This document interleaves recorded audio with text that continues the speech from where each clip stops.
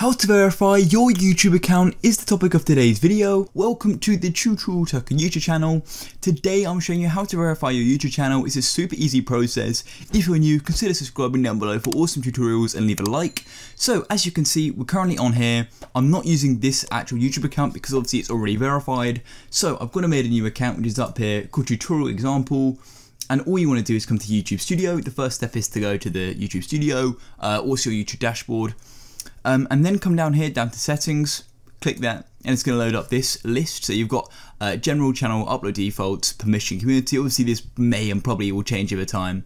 You want to come to channel, and then come to advanced settings, and scroll down until you see manage your YouTube account. Now click that, and it's going to open into a new tab, and you've got these three options here.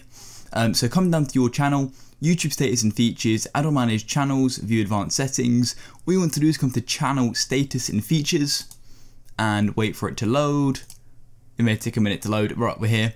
And now as you can see, all you want to do is come up here and click verify. Now once you verify, you'll be able to get access to these features like custom thumbnails, external and annotations, I believe, um, and other features as well. So all you do is click verify, and it's going to take you to this page here. So all you've got to do is get your phone number. So you could use like a landline phone, a text number, uh, a, sorry, mobile number. So you select your country, so say I'm in the UK, and then you choose if you want to have it be called or text. I usually use text just because you get a bit more time to enter the code, etc. And then you just go and enter your number here. So once you're going to enter your number, you click submit, and then you'll get a text to your phone and then you'll enter that code. Now do not worry if it doesn't come through.